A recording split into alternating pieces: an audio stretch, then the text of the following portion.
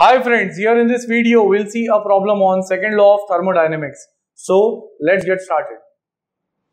Now here is the question given. It is said that three Carnot engines denoted by capital R1, R2 and R3 operate in series between two heat reservoirs which are at temperatures of 1000 Kelvin and 300 Kelvin. So whatever is given in this problem, I'll write that in the form of data.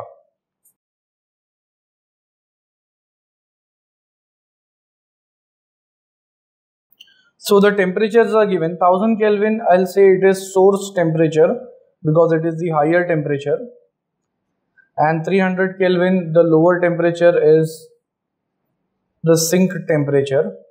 Then calculate the intermediate temperatures. So we they have given two temperatures to us and they had asked us to find the intermediate temperatures.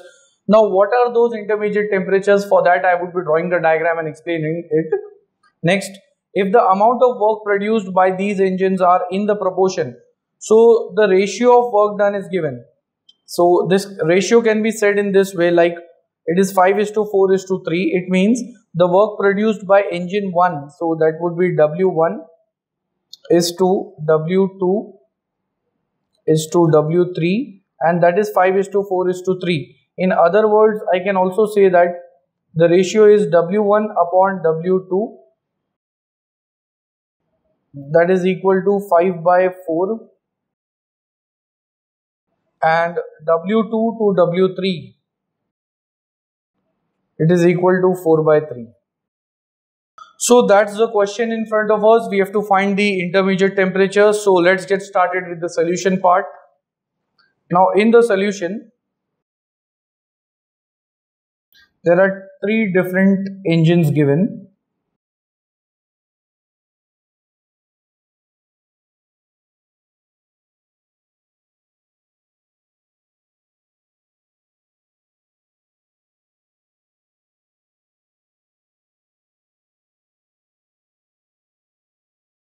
The engines are R1, R2 and R3 operating between temperature limits 1000 Kelvin and 300 Kelvin. So 1000 Kelvin is the highest temperature that is of the source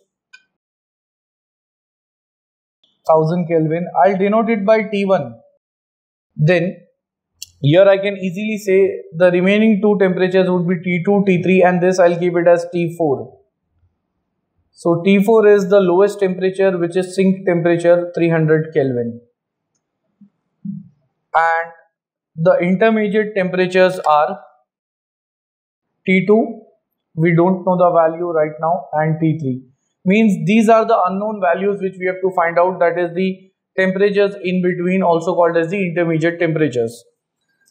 So engine 1 would be taking in heat Q1 and rejecting heat Q2 to the low temperature reservoir and by doing so it is producing a work of W1 and that W1 is the difference between heat supplied and heat rejected. Heat supplied is Q1, heat rejected is Q2. Similarly, engine 2 would be taking in heat Q2 from the high temperature reservoir and delivering heat to the low temperature reservoir and at the same time developing the work W2 which is Q2 minus Q3. Engine 3 taking in heat Q3 from reservoir at temperature T3 and delivering it to a low temperature reservoir having temperature T4. So rejecting heat Q4 and in the meantime developing a work of W3 which is Q3 minus Q4. So that is the setup of the problem and they have given the amount of ratio of work done. W1 to W2 that is 5 by 4 and W2 to W3 that is 4 by 3. So I'll start the problem now. So since starting with engine 1, since efficiency of engine 1 and I'm using the efficiency formula for Carnot engine assuming it to be a Carnot engine. So efficiency formula is output upon input. The output of engine 1 just looking at engine 1 it is W1 which is the amount of work produced. And the amount of heat consumed is the input. so output upon input is the efficiency. That same efficiency can be written in this way that W1 is Q1 minus Q2 upon Q1 and therefore the same efficiency can also be written as in the form of temperature difference T1 minus T2 upon T1. So from these equations I can just select W1 because they have given the ratio of work. So W1 upon Q1 is equal to T1 minus T2 upon T1. So therefore W1 would be, I'll be sending Q1 onto the other side. So Q1 upon T1 into bracket T1 minus T2.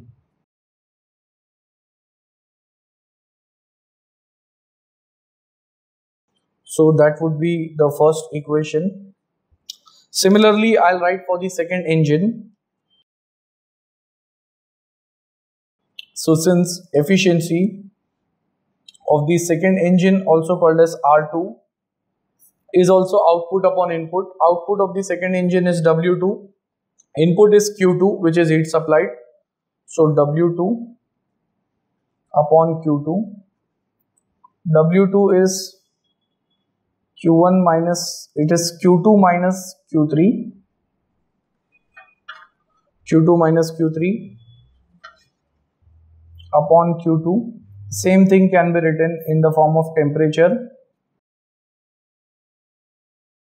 so therefore I am keeping W2 upon Q2 on one side and equated to T2 minus T3 upon T2 so therefore keeping W2 on one side we have Q2 upon T2 on another side and here we have T2 minus T3.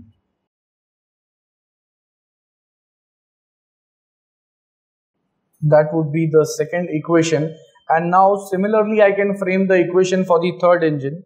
So I can write down similarly the work developed by the third engine would be W3 and it would be equal to Q3 upon T3 into bracket. The reservoirs between which it is operating that is higher temperature reservoir T3 lower temperature reservoir T4 so T3 minus T4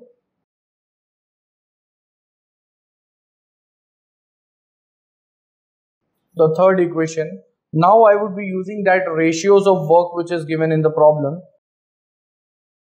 So now therefore dividing equation 1 by equation 2 so therefore on the left hand side it will be w1 upon w2 is equal to on the right hand side q1 upon t1 into bracket t1 minus t2 similarly in the denominator q2 upon t2 is equal to or into the bracket t2 minus t3 next according to carnot's principle which says that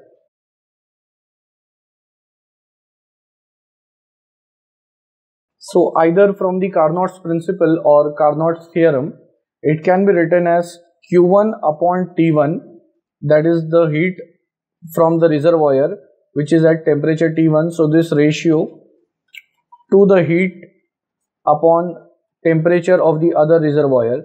Now these ratios they remain constant which is denoted by C.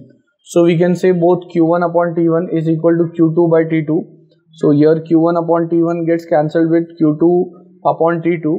Then the work ratio is given in the problem that is 5 by 4. So therefore we have 5 by 4 is equal to T1 minus T2 upon T2 minus T3. Now cross multiplying them we have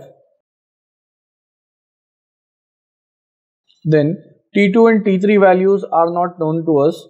So therefore when I multiply this or open the brackets that becomes 5T2 minus 5T3 is equal to 4 into T1 and the T1 value is given in the problem that is 1000 Kelvin so that becomes 4000 minus 4T2. Therefore, bringing T2 term on one side, so we have 5T2 plus this minus 4T2 when brought onto the left hand side, it will become plus 4T2 and here we have minus 5T3 is equal to 4000.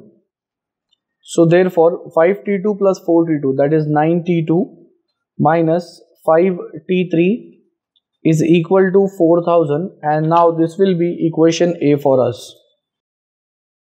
Similarly, we are going to solve it for the next condition that is for W2 by W3.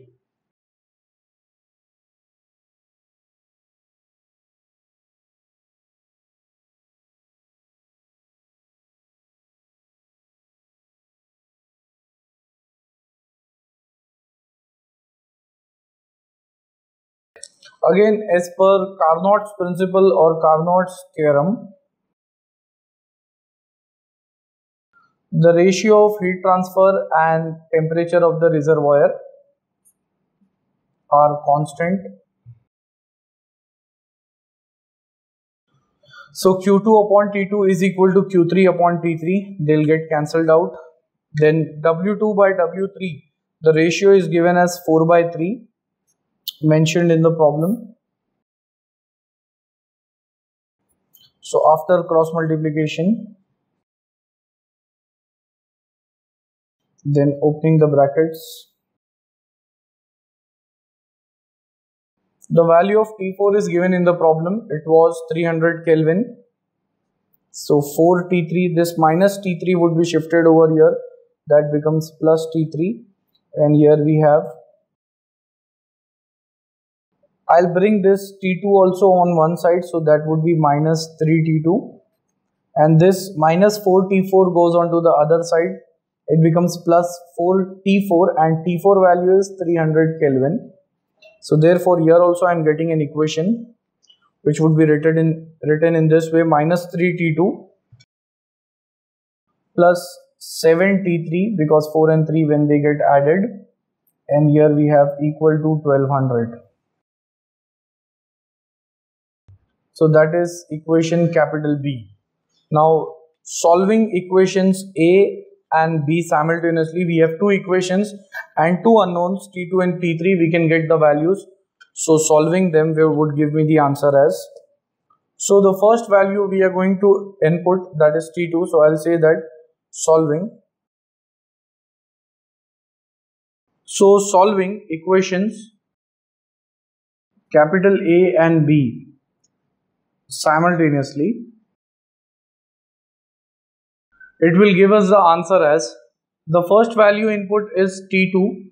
So the first answer I am getting is of T2 and it is 780.39 Kelvin and the next answer is of T3 which is 505.88 Kelvin. So in the question they had said we have to find the intermediate temperatures and now the intermediate temperatures have been calculated. That is T2 value, the intermediate temperature is 780.39 and Kelvin. Next is 505.88 Kelvin so these are the temperatures and we can see that the temperatures are continuously decreasing. That is from source 1 to the other sink and that sink would become source for the next engine. And similarly this sink would become the source for the other engine. And finally the temperature of the last sink is 300 Kelvin. So we can say that the temperatures or the intermediate temperatures should be within the limits of 1000 Kelvin and 300 Kelvin. So in short, that was a problem regarding the second law of thermodynamics. At the end, if you all find my videos helpful, you all can like, share, comment and subscribe our channel and share it amongst your family and friends. Thanks for watching.